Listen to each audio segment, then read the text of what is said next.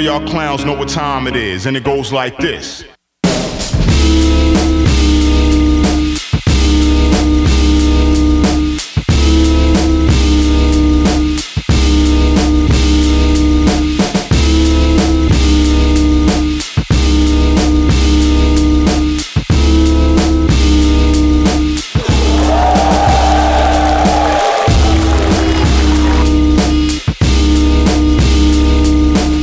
Aasahan yung ano, kakaiba to. Hindi nyo makikita sa iba. Entrance pa lang, giba na. Ganon ko siya nararamdaman. Yung style ni Emar, parang original siya, eh. original siya. Sa, sa kanya ko lang talaga nakikita yon. Tsaka gustong gusto ko talaga yung style niya eh. Trip na trip kong panoorin, ngayon makakalaban ko na. Kaliwaan to, syempre. Tingin ko, asahan ng mga tao, syempre, ano, mas kakaibang ekspektasyon. Na-excite talaga ako kapag ganyan yung style ng kalaban eh. Parang ang sarap paghandaan, ang sarap magsulat. Ayun, parang in-enjoy ko lang. Tsaka nagpaka ako lang ako. Pareho kami, pero di kami parehas. Yun yung kahinaan doon. Tsaka hindi ko na tinitingnan yung kahinaan, parang gagawin ko na lang yung lakas na higit ko pa. Na matumbasan pa rin kung ano pa yung ginagawa ko nung nakaraan at ngayon. Salamat sa pagtanggap sa laban, tsaka good luck sa atin mamaya. Galingan natin. Sagad natin to. Alam kong maraming may nag-aabang at gusto nito kaya ibuhos natin kung anong makakaya natin. Check, check it out. Check, check, check it out. Check, check, check it out. Check, check, check, check it out. Check, check, check, check it out. Check, check it out. Check, check, check, check, check, check, check, check check it out. Flip Top, Hound 14, Day 2, dito pa rin, TIU Theater. Ah, Day 2, pang, pang anim na laban na ngayong gabi. Sorry na hang pa onte, pero yung boses ko andito pa rin. Flip Top, magigay, para sa parating nating laban, oh. Siyempre, shoutout sa lahat ng MCs na uh, buo-buo na liga, lahat ng mga dumayo pa, galing sa malalayo. Lalo lalo yung isa, isang MC na parating, ah, isa sa pinaka na-delay na flight. Shoutout sa lahat ng ah, represent collab, lahat ng sumusuporta sa buong liga. At syempre, silipin nyo Extreme Gaming at TMT Play. At sa kanan ko, Cagayan de Oro City, represent para sa inyo. Magyayay tayo lahat para ay Zen Masaya ka rin ba? Kapag ako ay naparito, masaya pa rin ba? Kapag gabi sa paraiso, sang paro-paro Sa hardin ng talampunay, malayang taludturan sa papel ng aking buhay Shoutout sa teacher ko sa math. Shoutout sa teacher niya sa math. At sa kaliwa naman, silang Cavite represent para sa inyo. Magyayay tayo lahat para kay MR Industria. Literal ang pangyayari na lulusaw sa pikit mata Ang isip nagpasakit para sa mga ulong tumataba Pantay ang pagtingin sa kanan at sa kaliwa Gumagawa ng may hangad, walang napapala Emor Industria Uprising Record. Shoutouts Real Jokes Clothing. Shoutouts Bad Crib Clothing. At nanalo ng ko ito si Zen Luke. Pinili niya mauna si MR Industria. Tigdalawang minuto dapat. Pakinggan natin. Unang banat. On 14 Day 2. MR. Kamusta? Kamusta biyahe? Buti nga nakarating ka pa Napanaginipan kasi kita na napaparaning ka na Kulang na sa tulog sa paghahanda ay kulang na rin sa pahinga Sa paghihintay ng araw na ito kung saan mamamatay ka Malabo pues sa ating palinawin. Bawat rima, pinipino tong kalaban gigilingin. Sasalain na maigi mula itaas sihilahin. Kakalad ka rin ka sa dilim, pailalim at padiin kita susukatin. At para, parang, baba, rahan, itong binabae na barbaro. Habang binabarang ka ng barang bumabara sa utak mo. Pati ang kanito madadamay isasagad hanggang buto. Panoorin mong naaabo kaluluwa ng lolo mo. Kausap ko ang iyong apo. Sa hinaharap ha. Kung lolo nyo, huwag nyo gagayahin to, tarantado to. Kaya pupuruan ko to ng purong metapora, purong Tagalog na magpapaurong ng yung dila nang hindi na kayo, kayo, makarinig pa ng kulam na walang bisa, diwang walang wika, wikang walang usisa na galing sa halimaw pa daw na hinihika. At puro lang kapantasan, Pwes ito'y pintas sa iyong kapintasan. Kumpas pa lang ng aking bantas ay tastas kat magkakalasan. At saka itaas-taasan. Tapos na kitang mapagbayaran. Kaya kahit patayin kita ngayon ay wala na akong kasalanan. Ayos lang. Salamat sa Diyos. Na-arbor na kasi kita, nasa sinapupunan ka pa lang. Kaya kinaaawaan na kita, nagsisimula ka pa lang. Yung unang kanta mong naisulat, ibinulong ko yun sa'yo nang hindi mo alam. Pinatubo kita at pinabunga na may ngunguyain akong kaluluwa sa panahon ng pagkalam ng aking sikmurang tumutunaw lang ng makatang pampantasya. Ito'y pag-asa ng pagbasa ng paghasa ng panlasa. Durako ang kamalasa ng paglalakboy, paglalakbay mong dito madidisgrasya. Dahil buhay at kamatayan ang ating distansya. Kaya huwag ka nang umasa, magapi mo ko'y mananatiling pagnanasa, dinaragdagan mo lang ang masasakit mong ala-ala. What's up?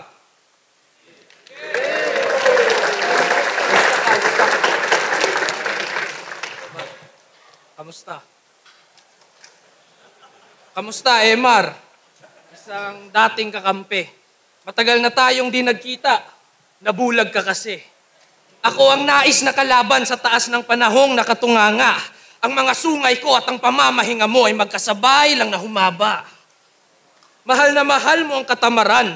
Yun ang hindi ko maarok. Pinaghahanda mo pa ng merienda pag dumadalaw ang antok.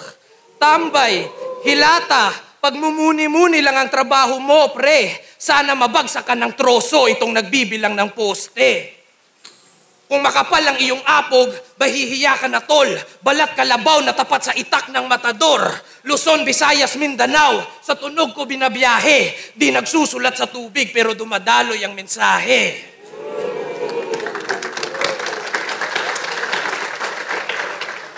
Katastropiya ang sagot sa mataimtim mo na dalangin. Bagyo ang nakikinig sa mga binubulong sa hangin. Sige tumingin ka sa akin kung matapang ka talaga. Bakit nauutal-utal ang nangungusap na mata? Bakit nauutal-utal ang nangungusap na mata? Sa estilo mo may kulang. Bagamat isa ka sa mga una kong pamantayan, si Lucas ang kumpletos Ricardos at isa ka lamang kasangkapan. Moderno na ang rap, yung estilo mo'y naiwan. Napuyak na kusinero, ikay natulog sa pansitan. Malungkot ang iyong mundo, mag-isa kang naaaning. Kahit magulog ka ng maraming kutsara, wala pa rin bisitang darating. At pag nakaramdam ng gutom, mas sumasalbahi sabay. Nang babato siya ng bato para mabato lang ng tinapay. Dalawang pilosopo sa makikita na konsepto, Aristotel at Socrates nagdedebate sa impyerno.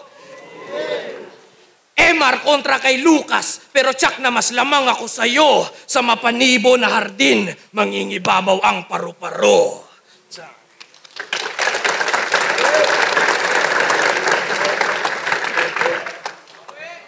Wag naman. Grabe ka. Wag mo ako sigawan, hindi ako pang ubusan ng boses, pang ubusan ako ng lahi. Yang hypnotismo mo, sa akin ngayon nananalamin. Kaya sa'yo, sumasapi. Nangagimat mong dala ng tinitigang ko'y biglang nahati.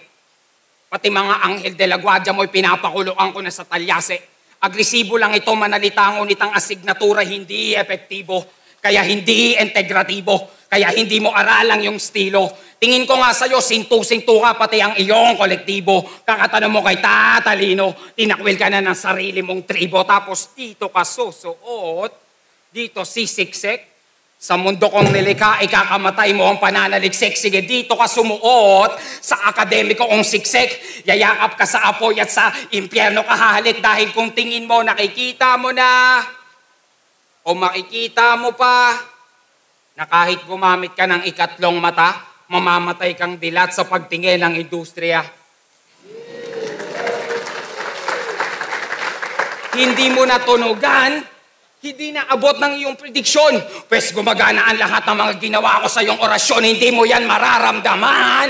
Ang lason at ang infeksyon, kasi hindi sakit ang pumapatay sa iyo, kundi ang iyong desisyon. Kaya, tad, tad to sa taluduran. Wala sa kalingkingan nitong tagatubig masusunugan. Ako ang lingas katagalugan. Sa krus ka ipapako, iaalay sa larangan. At ikay aking iaahon para sa ere kapugutan at maging saksi ang mundo.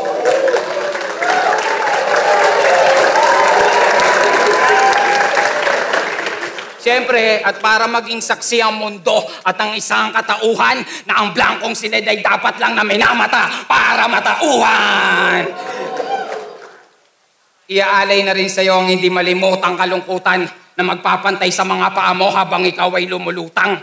Ganon, ganon, ganon to kagaan. Tinatangay lang ng hangin. Kulang-kulang tong kukulangin, halos tayong dapat na bilangin kasi wala nang paraan para sa daan ko to palarin. Sa aking kamay ka mamamatay at yan ang napatunayang pangitain. Patunay lang na ang pangitain ay kaya kong totohanin at yan ang pinagkaiba natin. Huwag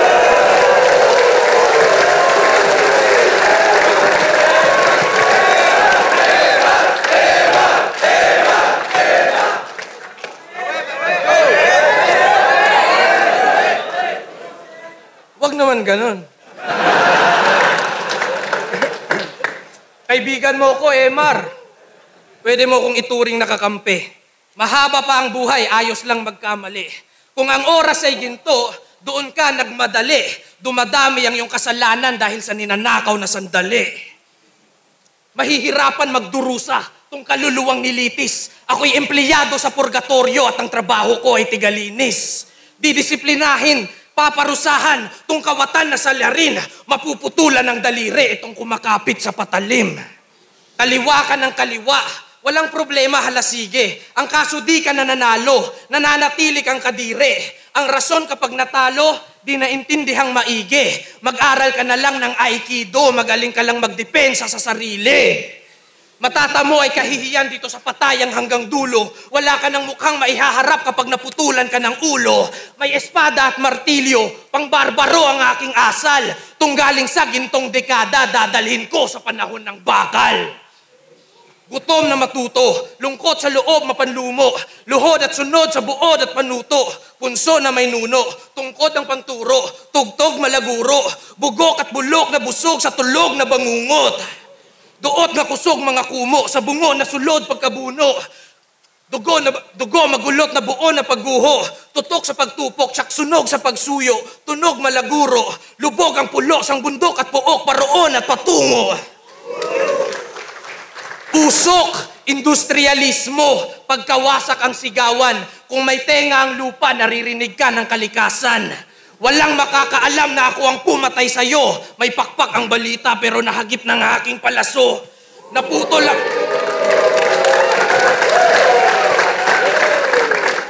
Naputo lang puno ng buhay at ginawa ang sagrado kong papel. Ang panulat ko'y balahibong binunot mula sa pakpak ng arkanghel. Sumindi ako ng kabuti at tinaktak ko ng ganto at ginawa ng Diyos ang tao galing sa nahulog na abo. Papatunayan kung mali ang nagsasabing kami pareha. Magkaiba tayo ng tela sa pagtatahi ng letra. Ako sa liriko may puwersa, sa pandinig mabenta. Parang galit sa buksingero, ito'y kumak... Parang galit na buksingero, ito'y kumakagat sa tenga. Itsura ba'y magkamukha? Para sa akin ay insulto. Kung Diyos ang sining, ako ang sining, ito'y isa sa aking ribulto. Tung kauri tatalunin, magkalaban na tayo bay. Wala na ang daan ng mga tumakas, sinunog ko na ang tulay.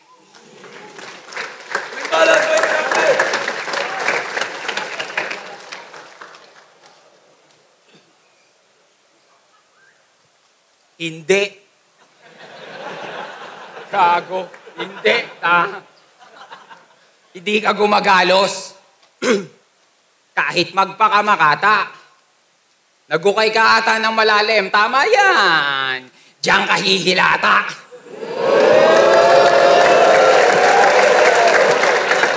Buhay kitang ililibing kasama ng nagkakandamatay mong talata. Nais ko lang makakita ng makatang naaagnas habang nagmamakaawa. Dahil yung hinagpis mo, ulila. Kaya pikit bulagang yung diwa, kulang sa hilamos ng kumukulong mantika. Nang kumunat at maunat ang maskara nitong manika na kahit iminani ko, nimoni ko, ang mekanismo mo ay mahi... Mga sausaw. Sa timbangan lang yun ang aking palagay. Yung estilo mo hindi konkreto, aligagapat hindi mapalagay. Bata ka pa at supot kung sa mundo ko to ilalagay. Kikikilang ka lang ng 12 anyos na ako may kalalagyan ka kapag hindi ka naglagay. Kasi papunta ka pa lang, Sen. Papunta na ako ulit.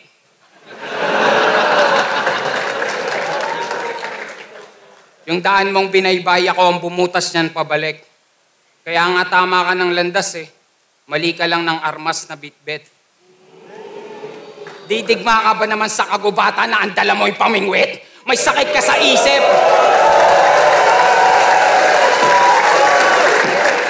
Palakpak kayo ng palakpak, may sakit to sa isip. Hindi na susumpungan, na kahit sa masusing pagsusuri, hindi na ito mabukbuksan. Tapos ang asta parang kaya mo kong silaban. Ako ang dagat-dagat ang apoy, hindi kita mararamdaman. Kahit sa balat, walang talab, uugod-ugod ang iyong pyesa. Ikay leon sa gubat na binulag ng mariposa. Uminom ng tubig ng tumatuba na wala na ng panlasa. Handa nyo pa rin bang tikman ang sulat ni Lucas ng nakakasulat lang ulit hindi nakakabasa? Kasi, tol, yung pangungusap mo, Putol, putol, linyay, buhol, buhol. Pinagtatagping, pinagdurog tong pakunwaring na uulol. Ulol, yung tali mo, bingaw, bingaw, masahol pa sa mapurol. Tila walang tumatama ng suntokan, nagsuot ng asarol. Pero, kahit saluhin ko lahat ng iyong ipupukol, ibuburol ka pa rin sa burol, na baolang ataol. Ilaw ang ulo mong kaparol habang nagsisilab ako ng dayami sa kubol. At kung mabubuhay ka muli, tangin na tarsier ka na lang sa buhol na pinagkapotol, potol, potol, potol, potol. What's up, Ahon 4D?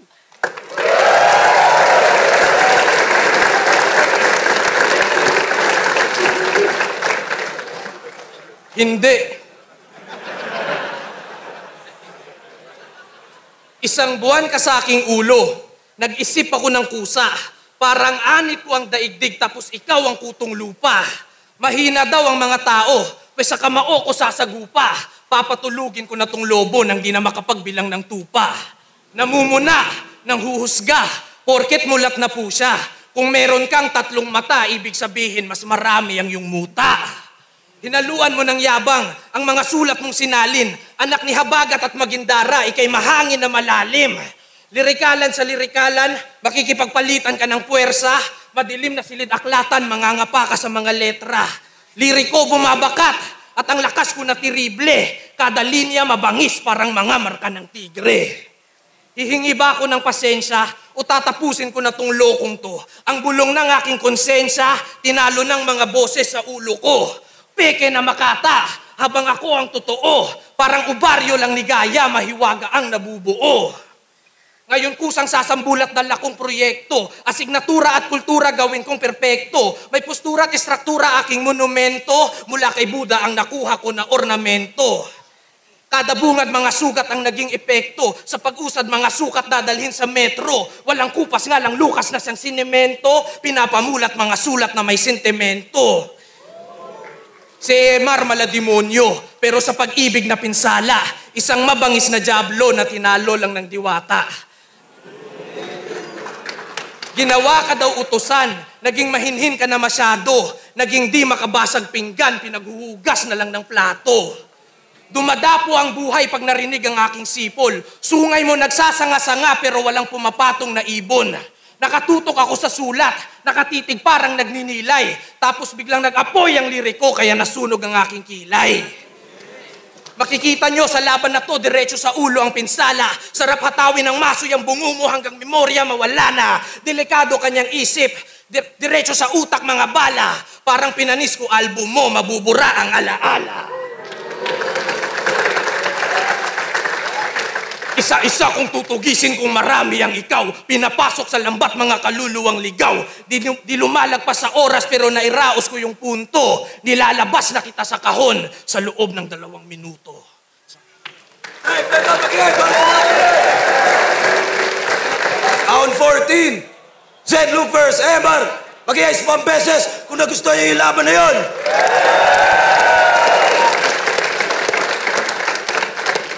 Yun yung mga laban na tingin ko, panalo tayo lahat. Pero huwag niyo nga ipakita sa mga bata dahil uh, napakabastos, napakabulgar, puro mura. Pero ang boto ng Urado, 5-0. Mag-iayos tayo lahat para kay Emar Industria.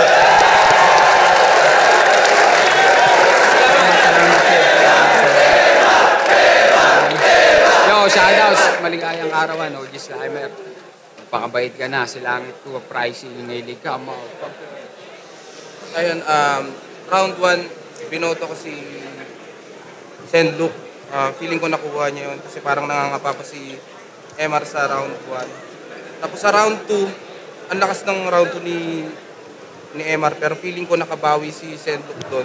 Pero hindi ko, ano eh, parang tin- hindi ko alam kung sino panalo eh. Hindi ko pa maano kung sino panalo. Kaya tinabla ko muna. Tapos sa round 3, doon, feeling ko malino na kay MR yon. So, one kay Send, two tabla, three kay ano kay MR. Pero kahit nakakuha sila ng tig isang round, mas malakas yung round 3 ni MR kaya MR. Yun, ah, ang binoto ko para sa akin, ah, MR Industria. Grabe yung nabibigay nilang imahinasyon sa utak ko sa paggamit ng napakalalim na Tagalog. Gustong gusto ko yung ginawa ni Sendok, mga multis, parang para sa akin, parang nakaka-proud maging battle rapper na purong Pinoy. Ah, natutuwa ako sa ginagawa nila. Grabe yung, yung imagery, yung ah, purong Tagalog. Trip na trip ko rin yung bagong flow ni MR. Ah, malakas yung ginawa niyang flow. Nasa metro na siya ngayon. Although parehas silang gumagamit ng napakatalinhaga, pero para sa akin, mas masakit gumamit ng Tagalog si MR, kaya binoto ko si MR Industria. Yun, uh, parehas na pagkakasabi ni Kuya Shernan. Sobrang nakakabilib na laban. Ah, ako, sobrang saya ko na napanood ko yun ng live. Ah, binoto ko si MR, pero props pa rin kay Zenlook. Nasa kanya yung magandang rhyme scheme sa rhymes. Tingin ko bum, lumamang siya. Ah, si MR, ah, sobrang lakas talaga ng tama ng imagery na saka yung metro nung paano niya dinideliver yung mga lines niya talaga na sobrang lakas ng impact para sa akin.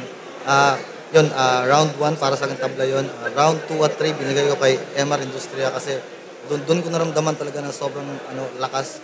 Para silang magaling gumamit ng Tagalog, sobrang sobrang napaka nakakabilib yon pero para sa akin lumamang sa gabing to si MR Yo, para sa akin sobrang solid ng battle. Para sa akin lamang si Ever nung round 2 and round 3. Pero round 1 ang laki nung laman ni Sendlook. Pero yun nga. Para sa akin panalo lahat doon. Pero yun, Emar. Yo, ah, binoto ko si MR. Ah, una sa lahat, nakakatuwa na makita yung datong klase ng estilo na nagagawa na nilang pang battle rap talaga. Kaya yun, proud na proud ako na nakakanood ako ng ganun. Nakaka-refresh siya pakinggan. Pero kailangan natin pumili. Binoto ko si MR sa round 1, para sa akin, malaki yung lamang ni Zen sa round na yon kasi parang hindi pa gaano ka-effective yung mga material ni MR nung time na yon kaya lamang sa akin si Zen Look doon. Sa round 2, lumamang ng bahagya si MR, konting-konti lang yung diferensya. Pagdating sa crowd, pagkuha ng crowd, yung mga ganda ng sinasabi nila at mga uh, setups papunta sa pinaka-punto nila, ang gaganda rin. Pero yung round 3 yung para naging deciding factor sa akin, which is doon naging maganda lalo yung performance ni MR lalo na dun sa parte na parang tama ka ng landas, mali ka lang ng sandatang bitbit. Ang ganda nun, sobrang ganda. Para sa akin yun yung pinaka-solid na punchline sa buong battle. And uh, yung kay Sendlook, maganda pa rin naman. Yun nga lang medyo bumalik siya dun sa parang pa yung parang style na hindi pa-direkta kay ano, pa-direkta kay MR which is yun yung ginawa ni MR sa buong round 3 Although hindi gaano maganda yung ender naman ni MR, pero yung ender ni Sendok is uh, decent naman para sa akin maganda. At ayun, lumamang dun sa MR. So para sa akin, dalawang round yung nakuha ni MR, isa kay Sendok, pero sobrang hirap i-judge nito. Congrats sa inyo dalawa. Yeah. Sa tingin ko, nangyari naman yung ano, dapat mangyari. Sa tingin ko, yun yung pinaka nagustuhan ko na performance niya. eh. Marami siyang magagandang ano doon eh, mga linya, mga linya na hindi mo inaasahan na dun babagsak. Tas ayun, nagawa niya ng tama. Tingin ko naman ano, natapatan ko rin naman yung mga linya na baga nagpalitan talaga kami sa gitna. Tas nagawa ko naman yung gusto ko rin gawin. Kung makapal ang iyong apog, bahihiya ka na tol. Balat kalabaw na tapat sa itak ng matador. Luzon, Visayas, Mindanao, sa tunog ko binabiyahe. Di nagsusulat sa tubig pero dumadaloy ang mensahe. In overall, napakaganda niya. Ako para sa akin, masaya ako sa inalabasan kahit anong paman. Tangina, digmaan talaga ng Tagalog eh. Tingin ko ano, ra- ano round 2 na papagana ko na. Tingin ko nung round 1 parang ano pa eh, hindi pa. Parang di pa nila nagigets yung yung gusto kong daloy ng ng gusto kong style na ilabas. So round 2 naramdaman ko tapos round 3 ang sarap nun. Alam mo yun. Buti doon ko nilagay yung mga pangungusap na yun. Tama-tama. Parang ganon, ganon siya nararamdam. Ganon to kagaan. Tinatangay lang ng hangin. Kulang-kulang tong kukulangin, halos tayong dapat na bilangin. Kasi wala nang paraan para sa daan ko to palarin. Sa aking kamay ka mamamatay at yan ang napatunayang pangitain. Patunay lang na ang pangitain ay kaya kong totohanin at yan ang pinagkaiba natin. Oh,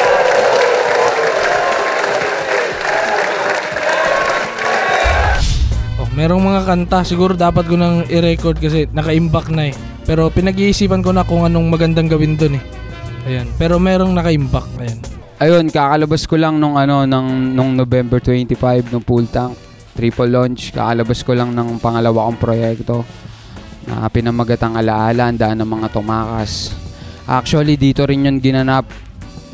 Malaking bagay sa akin na nakatugtog muna ako sa entablado na to bago ako lumaro ulit ng flip top. Sa mga patuloy na sumusubaybay, salamat. Sana nagugustuhan nyo pa rin at sana patuloy pa rin kayo sa pagsubaybay. Ayun. Ah, salamat sa suporta nyo lahat. At tunay na suporta sana. Yung tunay, alam nyo naman na yun kung anong tunay na suporta. Siyempre, mag-ingat kayong lahat palagi at tuloy-tuloy lang kung ano man yung ginagawa nyo.